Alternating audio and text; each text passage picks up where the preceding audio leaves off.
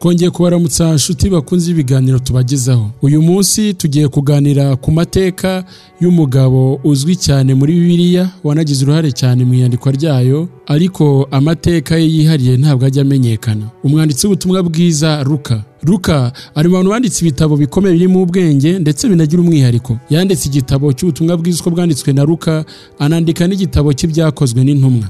Uyu munsi ibi bitabo bifasha abantu benshi. Mu myandikire yagendaga agaragaza ko yagendanye n'abantu babanye na kirisito kandi ikindi akavuga yuko hari n'ibyo nawe yiboneye n'amaso ye. Urugero ni nk'aho yavuze ngo twumva yuko umwami ashaka ko tujya i makedoniya. Ahandi ubwo paul yari agiye gusubira i yerusalemu ruka yaranditse aravuga ngo turamwinginga kugira ngo adasubirayo ariko araduhakanira. Ibi byose bigaragaza ko umwanditsi w'igitabo cy'ibyakozwe n'intumwa yari ari kumwe n'aba ngaba yaba pawulo yaba n'abandi batandukanye mu ngendo z'ivugabutumwa bagiye bakora. Ngo uhaye ikaze muri iki cyegeranyo. Ushobora gukomeza gukurikira ibiganiro byacu kuri bibiliya tv ukanakora subscribe. Nitwa theogene wiringiyimana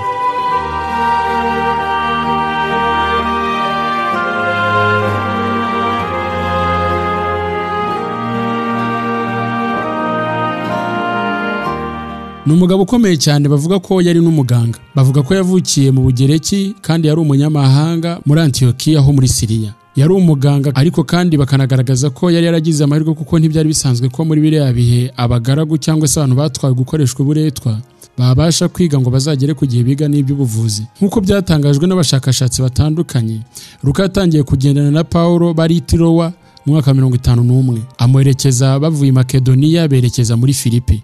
Bishoboka ko ngo icyatumaga paul agendana na ruka cyane yamufashaga mu bihe byo kuvurwa igihe yabaga yatewe amabuye yakubiswe cyangwa se bamuroshye hirya no hino nk'uko yagiye ahura n'intambara nyinshi bitewe n'ingoma y'abaroma. Mu butumwa bwe yagiye yandika yagaragaje ko ibyo yanditse yabitewe no gufatanya cyane na paul na bagenzi be.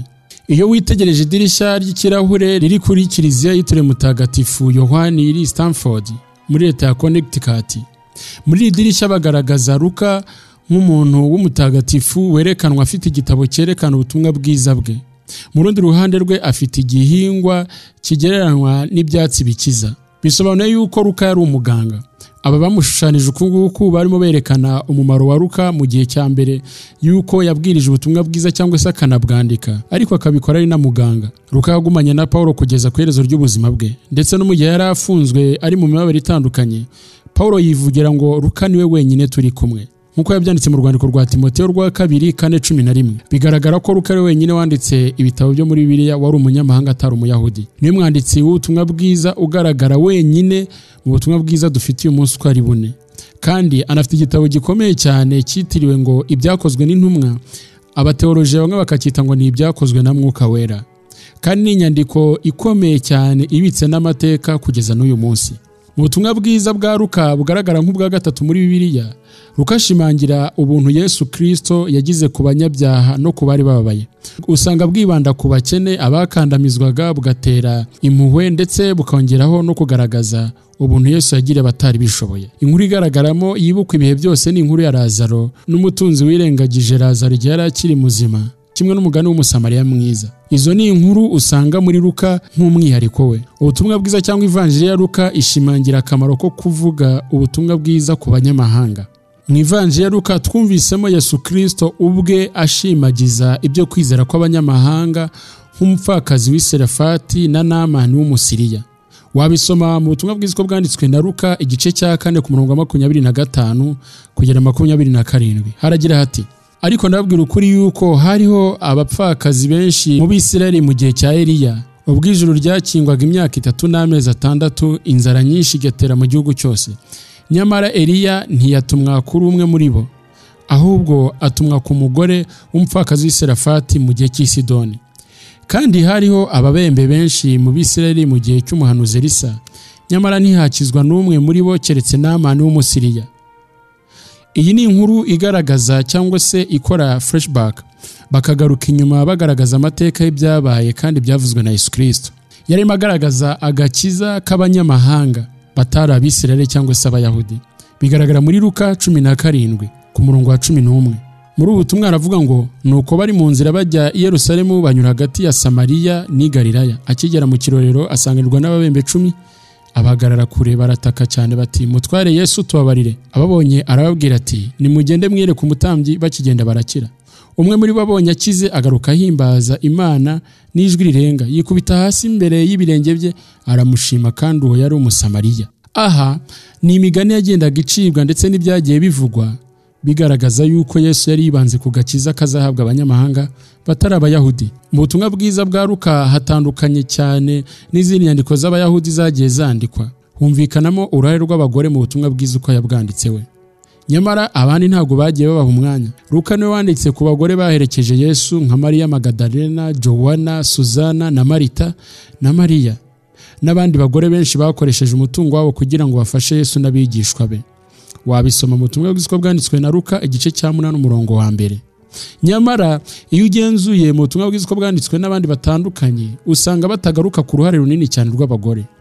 Ruka yanditse kandi ku byerekeye ivuka rya yesu kirisito duhereye kuri mariya kandi afite akamaro kanini mu butumwa bwiza bwa ruka abandi siko bimeze. Mu butumwa bwiza bwanditswe na ruka ni ho twumvamo amakuru yahawe mariya. Uruzinduko rwe ajya kwa elizabeti mu butumwa bwiza bwanditswe na ruka twigamo amagambo y'uburyo marayika yabwiye mariya iby'ubutumwa bwiza yari amuzaniye akanamubwira inkuru nziza ko agiye kuzabyara umucunguzi. Ni naho tubonera ajya kwa elizabeti basuhuzanya abana bakisimbiza mu nda. Uwo ni umwihariko ugiye uri ku butumwa bwiza bwanditswe na ruka imirimo ya ruka ikomeza kugenda igaragara mu gitabo agiye yandika cy'ibyakozwe n'intumwa. Kugeza mu gice cya cumi na gatandatu inkuru y'ibyakozwe n'intumwa yanditswe muri ngenga ya gatatu. Cyane nk'amateka yanditse atandukanye ayigaragaza yandika nko muri ngenga ya gatatu. Nyuma y'ibyo bice tugenda tubona yuko umuvugwa cyangwa se ngenga y'uvuga yahinduye akajya avuga ngo tu turi kumwe twagiye aha tumeze gutya. Ahangaha bigaragara yuko noneho rukara arimo yigarukaho. Bamwe mu bashakashatsi bemeza ko igitabo cyose cy'ibyakozwe n'intumwa atari ruka wacyanditse ariko abandi bagahuriza ko ari ruka wacyanditse impamvu babitandukanya ni uko guhera ubwo bahuraga na paul itirowa ngo ariho yatangiye kugenda yandika avuga ngo tu turi ahangaha twagiye aha umwuka twemeza ko tugiye kugenda gutya. Mu bindi bice wasanga avuga ngo ni uko aragenda akora uku nk'aho nawe ari inkuru yabwirwaga. Mu bindi bice hari aho cyongera kugenda kigaruka ku muvugwa wa gatatu cyangwa ngenga ya gatatu y'umuvugwa aho bamwe bemeza yuko byanditswe ruka adahari. Abahanga bamwe bemeza iby'amateka y'uko ruka yaba yarishwe nyuma y'urupfu rwa pawulo. Abandi bakavuga ko yabayeho igihe kirekire apfa afite imyaka mirongo inani n'ine nyuma yo gutura mu bugereki no kwandika ubutumwa bwe. Ayo ni amateka agenda atandukana.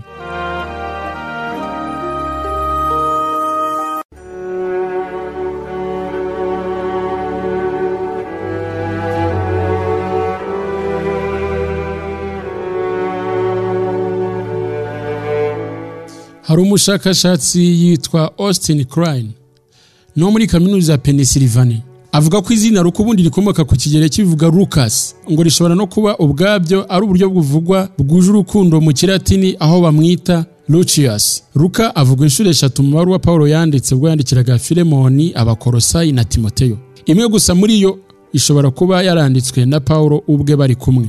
Ni urwandiko rwandikiwe Filemoni. Hari ibice bavuga ko bidafite ishingiro bisobanura ko Luka ngo yari umuganga ukundwa. Igice cy'ukuri kiramusobanura kikamwemeza nk'umuntu wakoranaga na Pawulo. Izo ni izindi nyandiko ziri aho ngaho nk'uko twabibonye.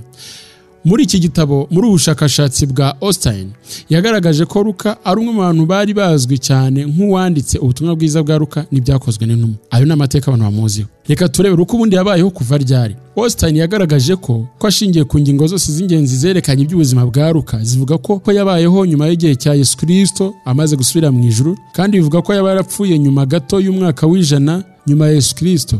Mu butumwa bwiza bwanditswe na Luka Luka ntigeze agaragaza iby'amerekezo n'ibice bitandukanye by'aho yari aherereye. Bamwe mu bagerageje gusesengura bagaragaje ko Luka yanditse ubutumwa bwiza ari ahitwaga ibowetiya cyangwa se za Roma. Bamwe mu bandi bahanga muri iki gihe batanze ibindi bitekerezo banagerageza gusesengura. Bemeje yuko yari ari mu bice nka Kayisariya cyangwa se za Dekapoli. Ashobora kuba yaragendanye na Paulo muri rumwe mu ngendo ze nk'uko binagaragara mu nyandiko yagiye yandika nawe. Ibyo ni ibitekerezwa biri aho ngaho abandi batemera abandi bakabyemeza. Reka turebe noneho aho Luka yakomokaga. Kuri Austin avuga ko agendeye ku bushakashatsi bwakozwe n'umuhanga witwaga Jerome yavuze ko Luka yanditse ubutumwa bwiza ari ahantu hitwa muri Akaya na Boetiya ibyo ni ibyakozweho n'abandi bashakashatsi batandukanye nk'umushakashatsi witwa Migne. Ariko inkomoko y'amakuru ya Luka ntiramenyekana neza. Ibitekerezo bigezweho muri ibi bihe byerekanye inkomoko y'ubutumwa bwiza butandukanye nk'umushakashatsi witwa Pluma yanditse urutonde rukurikira yagaragaje ko igihe Paul yari afungiye i Roma byoroheye Luka kujya i Kayisariya akagerageza gushakisha amakuru yose y'ibyabaye akaba ariho yabyegeranirije akabyandika. Cyane ko Paul nawe yivugira yuko yari ari kumwe na Luka wenyine rero bari basigaranye. N'umuntu yamenya itariki yegeranirije ibi ngibi bivuze ko yaba yaratinze kwandika nyirizina. Kugira ngo Luka amenyekane rero hari umwe mu banyamateka ba kera uri no mu bantu bakuru mu itorero witwa Irenaeus bavuga ko ari umwe mu bantu wabanje kugenzura ibya Luka kandi akabigenzura akabisanga no mu mabaruwa Paul yagiye yandika. Irenaeus yari umwepiskopi cyangwa se yari umushumba w'itorero ry'iriyo mu mpera z'ikinyejana cya kabiri. Luka rero ntabwo yiboneye ibyabaye mu butumwa bwiza nk'uko twabyumvise ndetse nawe arabyivugira ahubwo yafashe ibyari byarabanje cyangwa se ibyo bise ngo inyandiko za gakondo. Arazegeranya zose hanyuma Luka agenda azivanamo amakuru yaje kwifashisha yandika ubutumwa bwiza ndetse yandika n'ibyakozwe n'intumwa.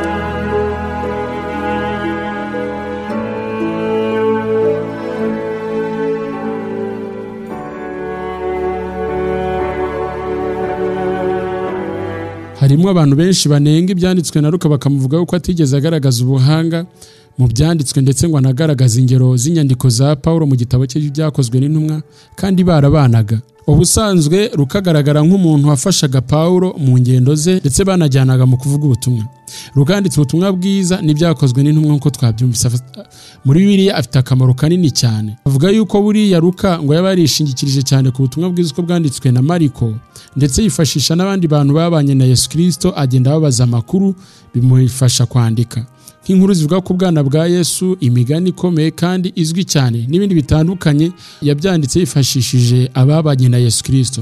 Hari ibintu bitandukanye nakubwiye byihariye Luka afite yanditse abandi badafite. Luka mu makuru agaragazwa n'abateoroje batandukanye bavuga ko yabikuraga ku bantu bagendanye na Yesu Kristo yaganiriye nabo. Barimo intumwa za Yesu.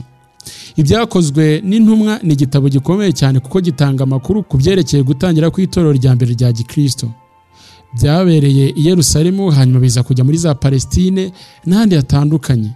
Kugeza uyu munsi hari abantu batemera ngo inyandiko za Luka bakavuga yuko ngo zituzuye. Abo ni abantu bari aho ngaho ariko amateka y'itorero n'inama zabaye z'abakuru bari bashinzwe kugenzura no guhuriza hamwe inyandiko z'ubukristo. Bemeje ubutumwa bwiza uko bwanditswe na Luka banemeza igitabo cy'ibyakozwe n'intumwa nk'igitabo gifitiye umumaro munini itorero kugira ngo byemezwe byagenze gute. Uyu mwanditsi yavuze yuko atabanye na Yesu Kristo kandi koko n'amakuru arabigaragaza we ntibigeze babana. Bishingiye ku nyandiko yagiye yandika hari inama zabaye zigiye zitandukanye kugira ngo izi nyandiko za Luka koko zemerwe. Zabanje kwangwa abandi barazipinga rwose. Icyakora bashingiye kuko Luka yari umuganga wakundwaga nk'uko bivugwa kandi wagendanye na Paul wari uzi ibintu byinshi akagenda mu ngendo ze bakorana. Akanabana n'abandi babanye na Yesu Kristo batekereje ko byaba ari ibintu by'igiciro cyane kwakira inyandiko yanditswe n'umuntu wiboneye ababanye na Yesu Kristo. Muri ubutumwa bwiza dufite muri biri uyu munsi ni ubutumwa bwagenzuwe ndetse cyane. Kuko iyo ugenzuye usanga hari ubundi butumwa butandukanye butagiye bwemerwa bwabo bwa petero bwa tomasi n'abandi batandukanye bari bagerageje kwandika.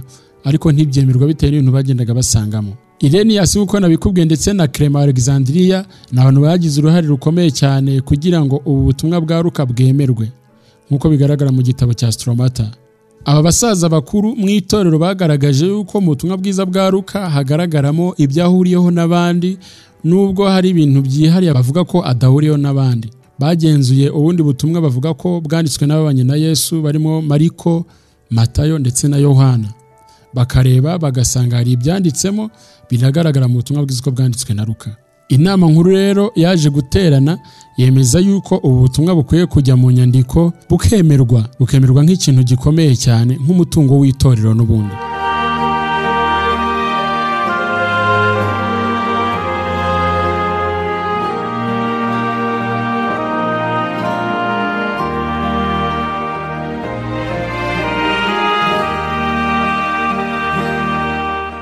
Niba warasomye ubutumwa bwiza uko bwanditswe na ruka ukanasoma n'igitabo cy'ibyakozwe n'intumwa hari umuntu ruka agaragaza ko yandikiye. Ibi na byo biri mu bintu byateraga konfiziyo cyangwa se bigatuma banashidikanya ku nyandiko ze. Reka ngusomere ubutumwa bwiza uko bwanditswe na ruka wumve. Igice cya mbere cy'ubutumwa bwiza uko bwanditswe na ruka kiravuga ngo abantu benshi bagerageje kuringaniza igitekerezo cy'imvaho y'ibyemewe natwe rwose. Nk'uko twabibwiwe n'abahereye mbere bigitangira babyibonera ubwabo. Kandi bakaba ari abigisha b'ijambo ry'imana. Nuko nanjye maze gukurikiranya byose neza mpereye ku bya mbere. Nabonye ko ari byiza kubikwandikira. Uko bikurikirana wowe teofilo mwiza rwose. Teofilo mwiza. Reka twumve no mu byakozwe n'intumwa uko avuga. Ibyakozwe n'intumwa igice cya mbere haravuga ngo teofilo we. Muri cya gitabo cya mbere nanditse byose yabanje gukora no kwigisha byose. Kugeza ku munsi yazamuriwe mu ijuru amaze gutegeka intumwa yatoranije azitegekesha umwuka wera. Nanone teofilo aragarutse. Teofilo ni muntu ki teofilo bamwita ngo ni teofilusi teofilo bivuga ukundwa n'imana. Iyi ngingo iri mu ngingo zagiweho impaka cyane bikomeye. Teofilo ni umuntu wayoberanye kugeza n'uyu munsi abanyamateka ntibamuhuriraho. Iyi ngingo ifite ibintu byinshi bitandukanye yavuzweho.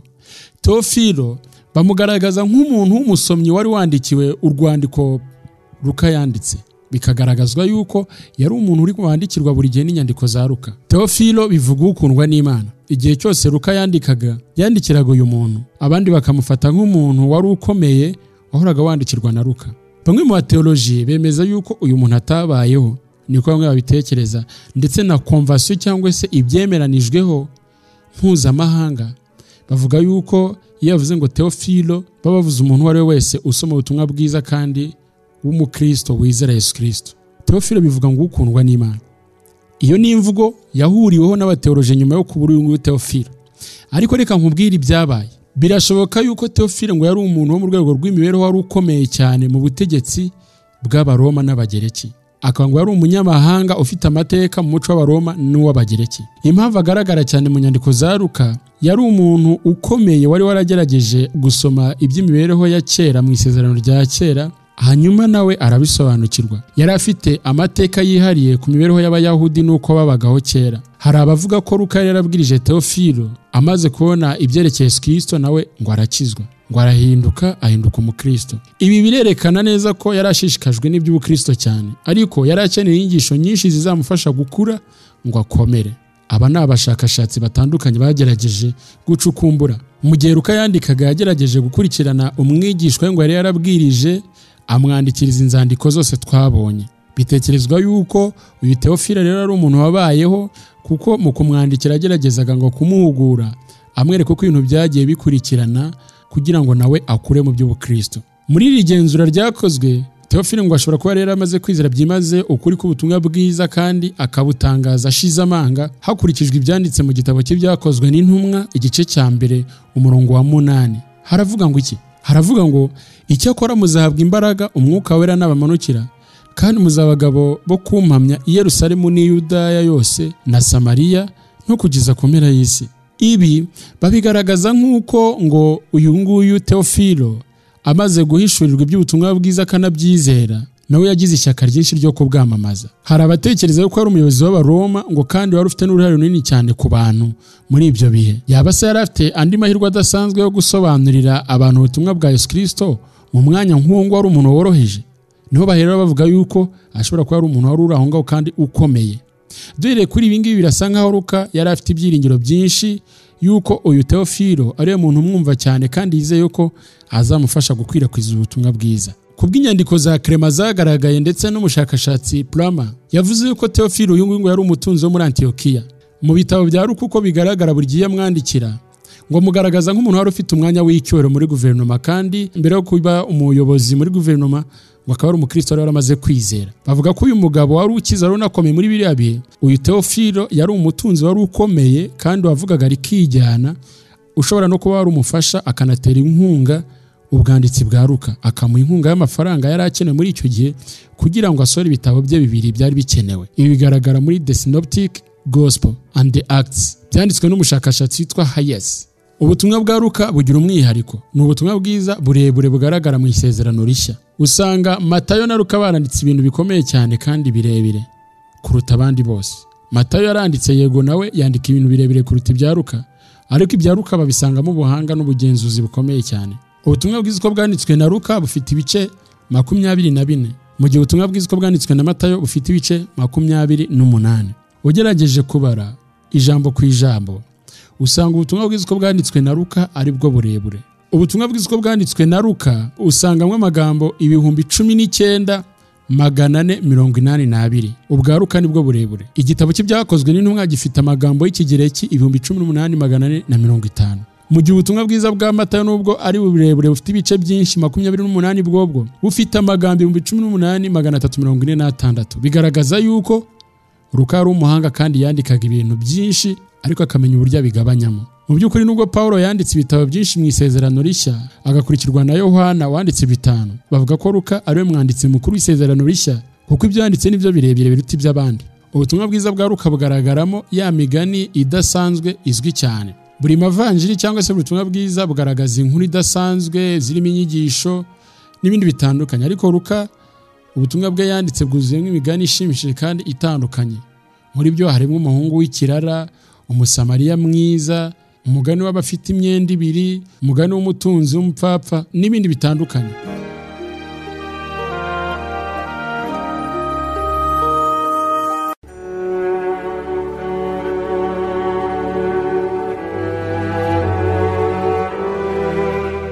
Ngayo amateka y'umugabo ukomeye cyane muri bibiliya Luka. Ni umugabo ukomeye cyane utarashatse kwivugaho cyane mu nyandiko ze ahubwo icyo yashatse ni ukwamamaza ubutumwa bwiza bwa Yesu Kristo. Nizere ko wasobanukiwe ibya Teofilo bikunda gucanga abantu. Luka bavuga yuko yavukiye mu Bugereki abandi bakavuga yuko yabaye muri Antiyokiya n'ibindi bitandukanye. Ubutumwa bwe hari abavuga ko yabwandikiye muri Akaya na Bowetiya biterwa n'inyandiko wasomye z'ubushakashatsi. Igikomeye ni ubutumwa yanditse bukiriho n'uyu munsi bugikora umurimo wabwo. Ikindi ni uko Luka yari muganga wafashaga Pawulo na bagenzi be mu gihe babaga bahuye n'ibikomere n'intambara zitandukanye zo mu murimo bahuraga na zo. Uyu munsi igitabo cye yanditse kiracyafasha benshi bitewe n'amakuru akirimo by'umwihariko cyafashije itorero rya mbere kugira ngo rigerageze gukusanya amakuru y'ibyo dufite uyu munsi. Ibya Teofilo nizere ko wasobanukiwe. Ndagushimiye rero twabanye muri iki cyegeranyo nitwa Theogene Uwiringiyimana. Ushobora gukomeza gukurikira ibiganiro byacu unyura kuri Bibiliya TV ugakora subscribe ukajya ubona izindi nyandiko tukugezaho. Amahoro y'Imana abane namwe. Shalom.